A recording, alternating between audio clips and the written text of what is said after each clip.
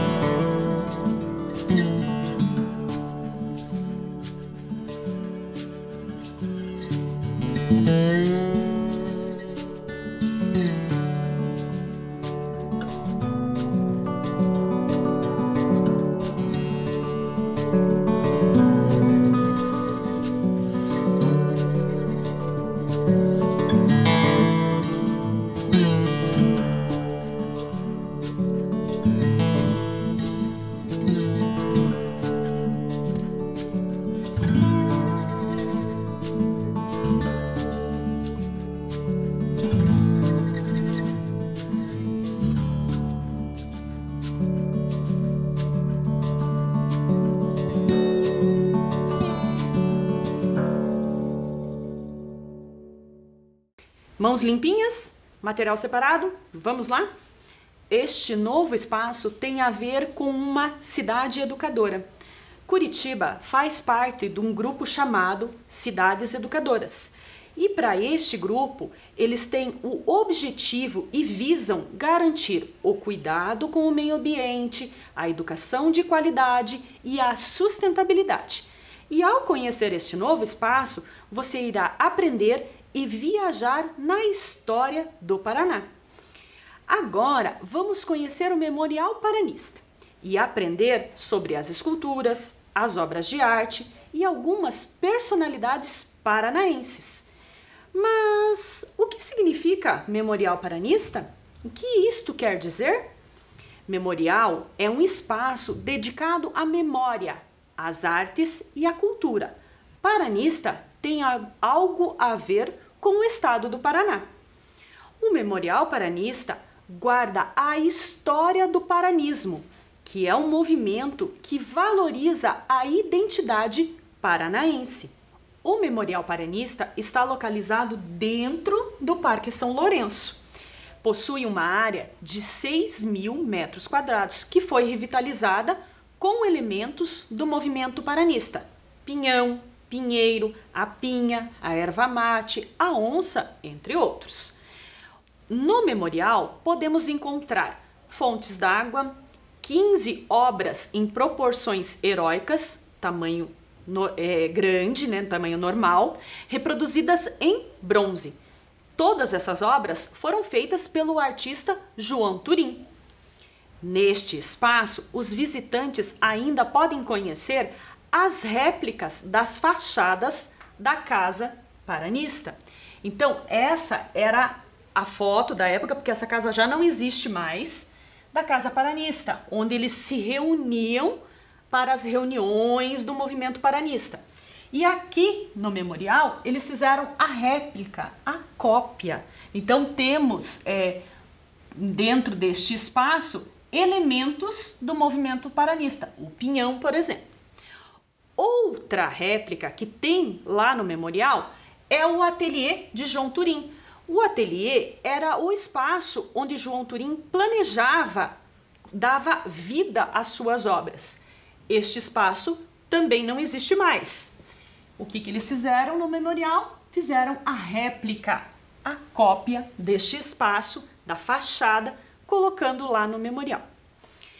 Agora nós vamos assistir a um vídeo que conta sobre esse espaço, sobre o espaço Memorial Paranista. Vamos, vamos conhecer este espaço? Olá! Hoje o programa Linhas do Conhecimento vai levar você para conhecer o Memorial Paranista, localizado na rua Mateus Leme, número 4700, no bairro São Lourenço. Uma área de 6 mil metros quadrados dentro do Parque São Lourenço.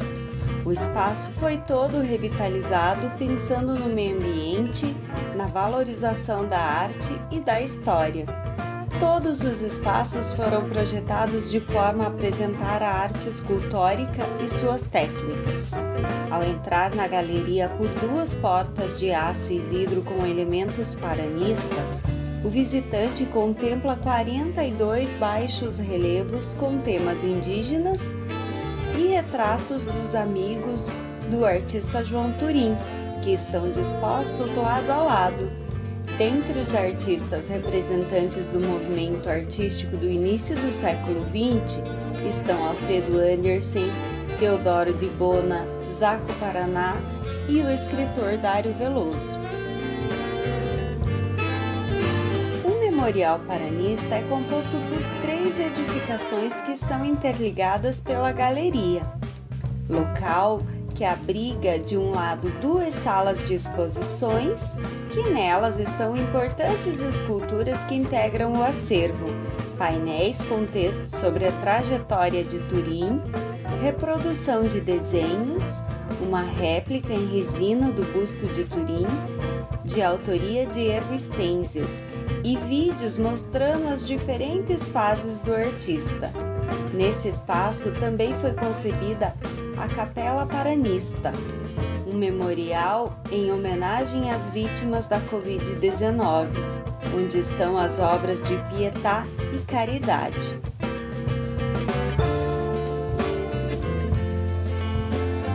e a sala de teatro Cleon Jacques, que faz homenagem ao ator e diretor de teatro radicado em Curitiba. Lado, temos o Ateliê de Esculturas e Fundição, um local que tem como objetivo estimular a criatividade, constituindo-se como um centro de pesquisa e desenvolvimento da arte escultural. O Liceu das Artes, um laboratório de criação destinado a uma programação de cursos livres, cursos de formação e o Masterclass.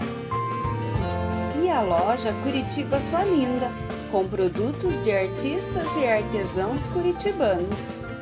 Na parte externa, temos o espetacular Jardim das Esculturas, um jardim com elementos paranistas, fontes de água e 13 obras feitas de bronze que compõem o acervo de Turim, que são elas o Índio Guairacá I, Índio Guairacá II, Onças Brincando, onça brincando com filhote, onça espreita um, onça espreita dois, onça descansando, onça e tartaruga, Fundação de Curitiba, Casa Indígena, Autorretrato, As Quatro Estações e a maior delas é a obra Marumbi, que pesa aproximadamente 700 quilos tem 3 metros de altura, quase 3 metros de largura e 1 metro de profundidade.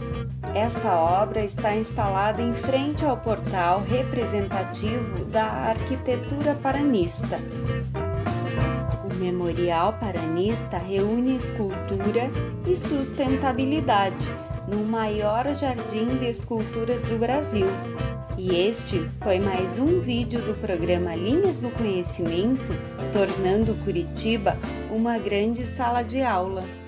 Que interessante esse vídeo! Bacana, né, conhecer este espaço? Vimos que o espaço é composto do Teatro Cleo Jacques, o Ateliê de Esculturas e Fundição, o Liceu das Artes, o Laboratório de Criação de Artes e a loja Curitiba Sua Linda. Já aprendemos que o memorial é uma homenagem ao movimento paranista, que destacou em suas obras a temática do Paraná.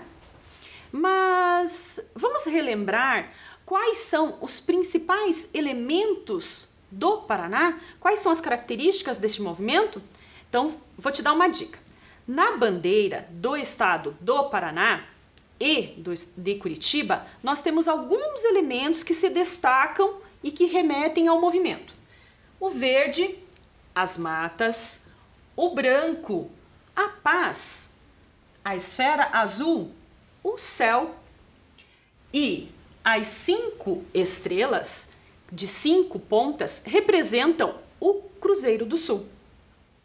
Ao lado temos o ramo da erva mate, do outro, o ramo do pinheiro do Paraná.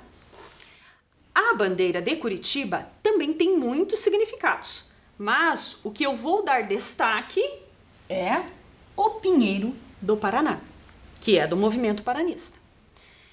Estes elementos a gente pode encontrar passeando pela cidade de Curitiba. Nossos estudantes já são feras e nisso porque vocês acompanham as aulas do programa Linhas do Conhecimento. Vamos relembrar Quais são esses é, elementos? Acompanhe aqui pelas imagens. A gralha azul, o pinheiro do Paraná, o pinhão, olha aqui, a semente, olha que bacana essa imagem. E também temos a onça, os felinos e também a erva mate, que faz o chimarrão. Olha que elementos que destacam a nossa cidade e destacam o estado do Paraná. Agora nós vamos observar artistas de destaque do movimento paranista. Vamos observar aqui na tela João Turim, Alfredo Andersen, Lande de Morretes, João Zaco Paraná, eles geralmente falam Zaco Paraná, Arthur José Nísio, Teodoro de Bona. Estes são artistas de destaque existiam outros que se deram ênfase na pintura, na arte, na fotografia e na escultura. O Memorial Paranista destaca as obras de João Turim. Vamos conhecer um pouquinho sobre a vida deste artista? João Turim, paranaense, que nasceu na cidade de Morretes, na região conhecida como Porto de Cima. Essa região é próximo ao nosso litoral paranaense. Aqui você vê uma imagem do João Turim esculpindo. Também te trouxe uma imagem antiga da casa dos pais de João Turim, uma casa da época onde ele morou, onde ele aprendeu a trabalhar com a madeira. Nessa época, João Turim ganhou uma bolsa de estudos que foi concedida pelo governo do estado do Paraná para estudar em Bruxelas, na Bélgica. Observe o mapa. No Brasil, em Bruxelas. João Turim foi acolhido pelo escultor Zaco Paraná. Então, pense, uma pessoa saindo aqui do Brasil, chegando num outro continente. Então, quem recebeu João Turim lá na Bélgica foi Zaco Paraná, que também era um artista. Ele estudou na Academia Real de Belas Artes em Bruxelas. Então ele foi para uma escola, para uma academia estudar. Foi morar em Paris, onde aprendeu com a nova geração de artistas. Retornou ao Brasil, aqui a região de Curitiba, onde realizou vários projetos, esboços, desenhos e muitos deles ficaram guardados. Por quê? Porque para você desenhar uma obra e colocar ela dando vida é um processo demorado e muito caro. Então, as obras da, desta, da, deste artista, ele esculpia ela e, e, e moldava no bronze. Então, algo muito caro. Em Curitiba, João Turim se reuniu aos artistas paranaenses para debater, para trocar ideias e informações sobre o movimento paranista. Agora que já conhecemos esse artista, vamos apreciar o memorial? Novamente, mas agora com imagens aéreas, imagens do Memorial Paranista. Vamos lá?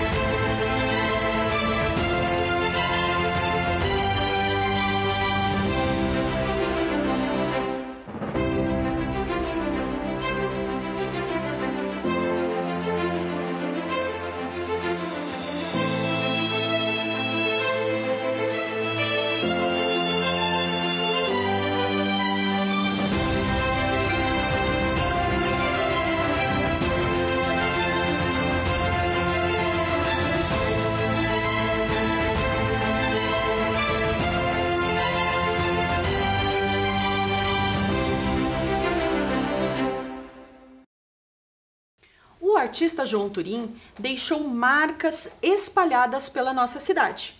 Vamos conhecer algumas? Essas esculturas se encontram agora na cidade de Curitiba e no Memorial Paranista. Mas você sabia que as esculturas de João Turim também estão espalhadas pelo mundo? Em Curitiba, no Rio de Janeiro, no Vaticano, na Itália, na França e outros lugares do mundo. Além do que, algumas obras também se encontram em posse, né, pertencem a pessoas, né? A pessoas particulares. Agora que a gente conheceu João Turim, sabe que as obras dele estão espalhadas pelo mundo e por Curitiba, vamos conhecer aonde estas obras estão em Curitiba? Observando esta imagem, o tigre esmagando a cobra. Esta escultura está na Avenida Manuel Ribas, próximo ao Portal de Santa Felicidade. Outra escultura é o Barão do Cerro Azul, localizado lá na Praça Miguel Couto, no Batel. E você sabe o que é um busto? Busto é a representação superior do corpo humano. Então, eles tiram a representação, o esboço, o desenho do corpo humano, esculpindo esta parte superior, a parte de cima. Outro busto é também do Barão do Cerro Azul, localizado no prédio da Associação Comercial do Paraná. E ainda temos uma fotografia de João Turim esculpindo este busto. Mais uma escultura é o Luar do Sertão, que está localizada no Centro Cívico, perto da Prefeitura Municipal de Curitiba, ali na rotatória. Esta imagem foi tirada da, do tribunal e bem aqui neste círculo, aqui ó, nesta rotatória, o luar do, do sertão se encontra. Então, a gente olha lá de cima e você fala assim, nossa, que, que escultura pequenininha. Esta é a escultura Luar do Sertão. Outra escultura encontrada de João Turim, ela se localiza na Praça Tiradentes, que é a escultura de Tiradentes. Agora, vamos conhecer algumas esculturas do João Turim que podemos encontrar lá no memorial. No Jardim das Esculturas, então o memorial tem um jardim ao entorno cheio de esculturas. Podemos encontrar a obra Marumbi, com 700 quilos e 3 metros de altura. Representa o Pico Marumbi. Então, se você pegar esta obra, esse contorno é o contorno do Pico Marumbi. Que interessante essa técnica. Aonde João Turim se inspirou para desenhar esta obra? Não é bacana? Na no Jardim das Esculturas também encontramos a escultura A Onça e o Filhote. Observamos a grande paixão de João Turim pelas obras que enfatizam o conceito animalista. O que quer dizer isto? são obras em que o artista se inspira nos animais. E a maior paixão de João Turim eram as onças, os felinos. Outra escultura encontrada é o Índio Guaracá II, em escala heróica. O que quer dizer essa escala heróica? Em tamanho normal. E também temos lá no memorial o Índio Guaracá I. Ao explorarmos internamente dentro do Memorial Paranista, podemos encontrar várias esculturas. Uma delas de destaque é Pietà. Essa obra foi feita na França, em homenagem aos soldados e cidadãos que enfrentaram a guerra. Em Curitiba, ela é uma réplica e ela pertence à família Lago. Então eles tiraram a ideia da, desta obra que está na França e fizeram aqui no Memorial Paranista. Outra obra de arte é a réplica do Frade Lendo. E, esse, e esta réplica ela foi dada de presente entre presidente e o Papa Francisco. Então, o Brasil concedeu esta réplica de João Turim ao Papa é, Francisco. Mais uma obra conhecida é chamada de Caridade. Ela é em baixo relevo, feita de bronze. O que, que é o baixo relevo? Então, ela não é uma obra que ganha proporções em tamanho, ela ganha elevações. E se você olhar em volta, ela tem elementos do movimento paranista e é uma mãe, um responsável olhando para os seus filhos. Essa obra ela é, ela é toda especial quando você vai dentro lá no, Memorial Paranista. Ela tá bem na entrada onde eles começam a contar a história e a vida de João Turim. Vou te mostrar mais algumas esculturas que tem dentro do Memorial Paranista e que todas elas enfatizam as onças, os felinos. Também, segundo histórias, João Turim visitava o passeio público à noite para acompanhar o movimento das onças pintadas e de outros felinos. É aí que vem a inspiração de João Turim.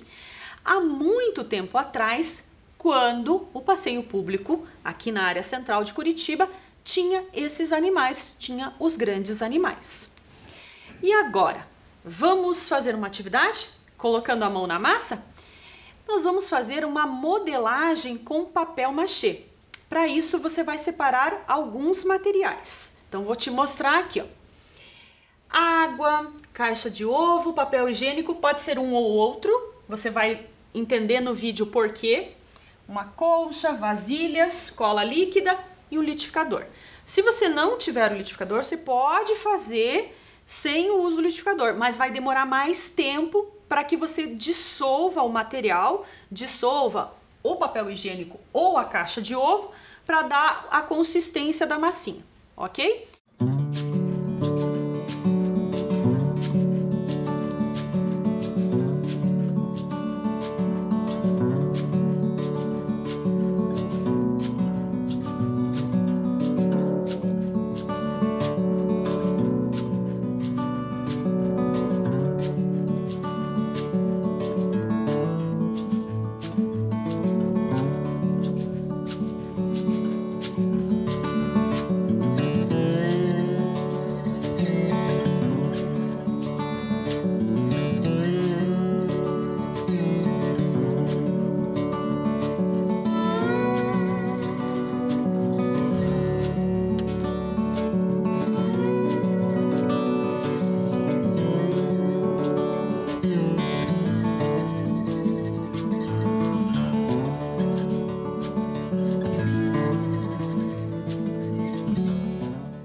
A gente vai assistir um vídeo ensinando você sobre como fazer a massinha de papel machê. Vamos assistir? Tudo bem com vocês? Eu vou te ensinar a fazer papel machê para virar uma massa e para a gente fazer escultura. O que, que a gente vai utilizar? Liquidificador, uma concha, um pote com água, bacias, vocês estão vendo? Cola, e a caixa de ovo e uma toalha. Pode ser uma toalha velha. Você vai precisar da ajuda de um adulto para essa atividade. O que, que a gente vai fazer? A gente vai pegar a nossa caixa de ovo e vai picar os pedaços bem picadinho aqui dentro dessa bacia e eu vou acrescentar água, tá? Vou acrescentar água. Eu vou deixar isso aqui descansando por uma hora, você vai perceber que a água vai sumir, então você tem que pôr água novamente, porque a caixa de, de ovo, ela vai sugar a água. O que, que eu faço depois de uma hora? Então vamos, passou o tempinho, a minha massa já tá mais ou menos pronta, ó, tá vendo? Ela já tá mais líquida, ó. Já passou uma hora, e eu vou pegar essa massa e vou colocar aqui dentro do liquidificador. E eu vou bater. E tem que ter o cuidado de bater no modo pulsar. Por quê? Porque senão pode estragar o liquidificador, tá? Vim aqui.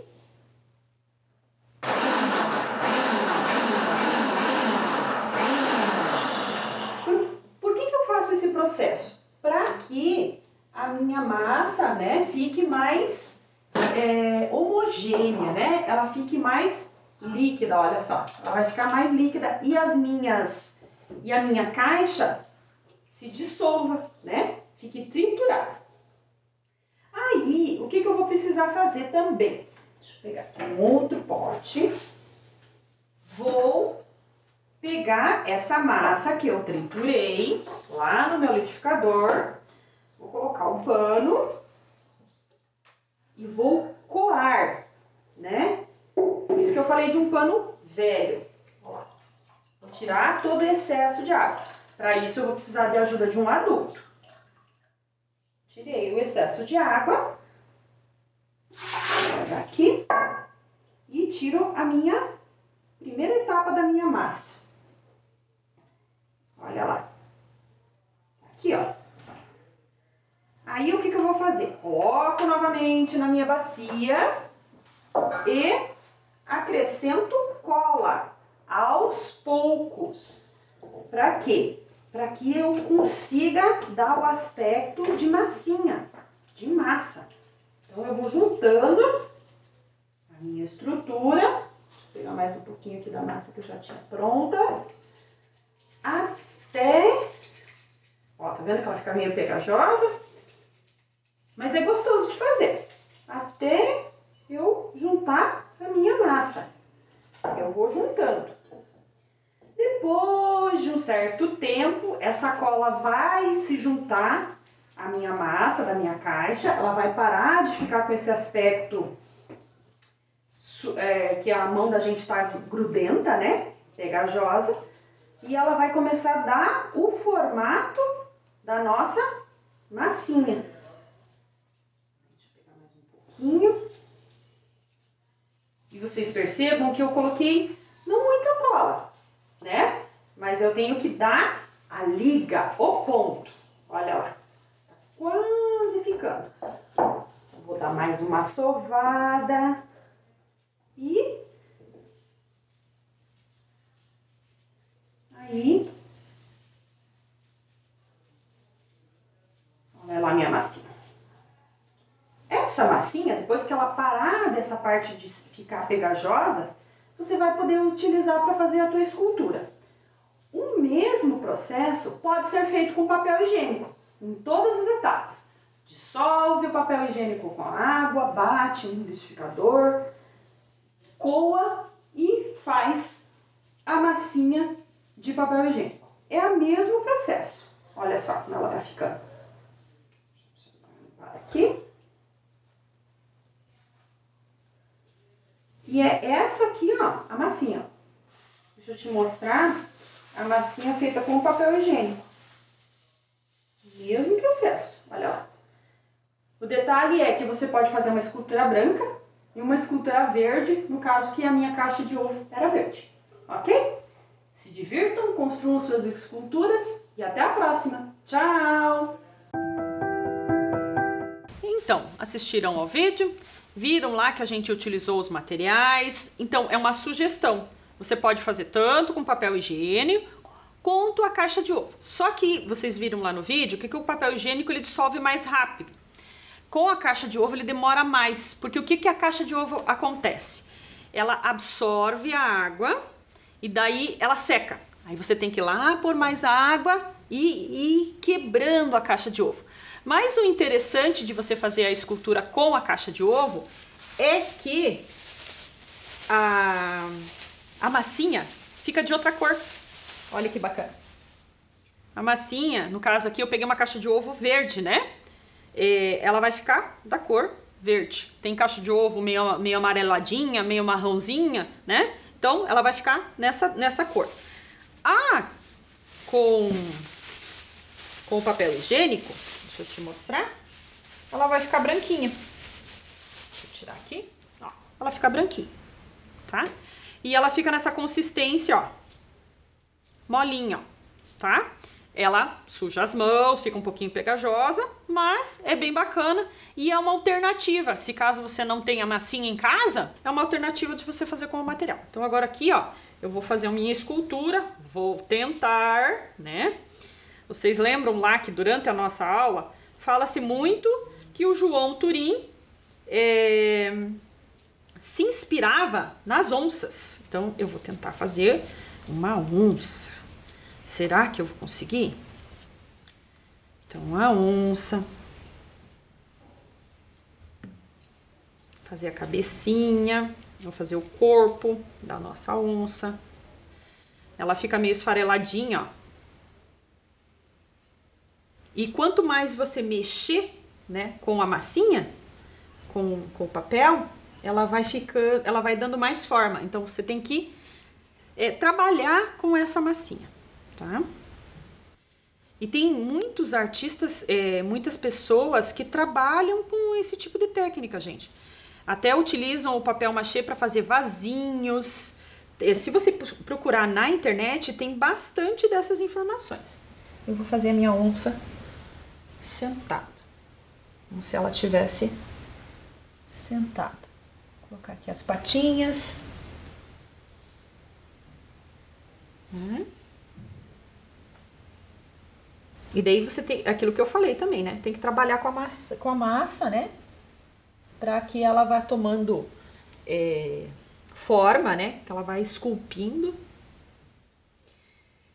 É, quando eu pesquisei isso, é, você encontra essas informações dentro do site do programa Linhas do Conhecimento. Então você pode é, ter acesso a vídeos, a tutoriais, a explicações sobre este material também. Quando você vai lá no site, nesse campo aqui, ó, Linhas do Conhecimento no Mundo Virtual, você tem acesso a várias propostas virtuais falando sobre os espaços, sobre os espaços da cidade de Curitiba, com propostas e atividades. Então aqui eu fiz a onça com o com a caixa de ovo. Eu vou ser sincera para vocês que eu gostei de trabalhar mais com o papel higiênico. Ele dá uma liga melhor. Ele fica mais gostoso de trabalhar. Mas a caixa de ovo é uma alternativa também. Olha lá fazer minha onça de novo, fazer ela sentadinha. E dá para você usar a sua imaginação. Aqui eu já até consegui, ó, fazer as orelhas da onça. Vou colocar aqui. Vou fazer a cauda. E é todo um trabalho artesanal, né, gente? Então, assim, você vai levar um tempo. É, durante a nossa aula de hoje, talvez você não tenha conseguido fazer a massinha, né? Porque vocês viram ali que eu falo no vídeo que precisa uma hora de descanso, né? É, não vai dar tempo de vocês fazerem enquanto vocês estão assistindo. Então, vocês podem anotar as informações da, da nossa receita ali, né? E fazer depois. E assim, tem gente que utiliza, que nem eu falei para vocês, é, como é, para trabalho mesmo, para vender.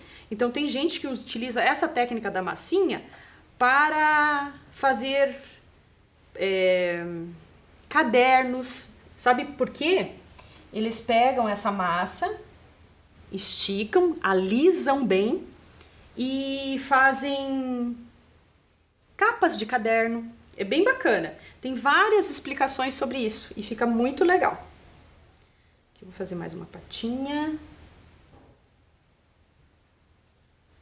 E quanto mais você vai trabalhando com a massinha, mais ela fica é, como se fosse untada, né? Junta.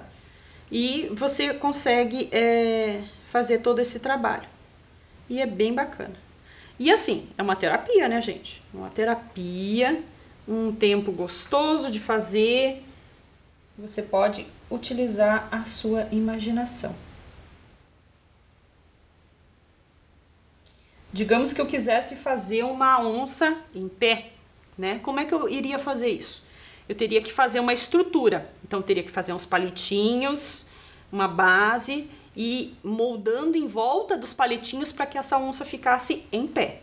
Então, isso é uma outra técnica que você pode fazer ali com o teu material também. Vou fazer aqui ó, o narizinho. Vai sujar a mão? Vai, mas é bem gostoso. Bem gostoso de brincar, bem gostoso de se divertir. Vou fazer aqui, ó. Aí, se você for bem detalhista, você pode até fazer maior. Você pode pegar, assim, um palitinho, e daí fazer os detalhes dos olhinhos, fazer o detalhe da, da boca, é, fazer umas manchinhas. Essa branca, no caso, você pode é, é, colocar pigmentos, né? Colocar cores para dar o formatinho, tá? Então, deixa eu fazer aqui.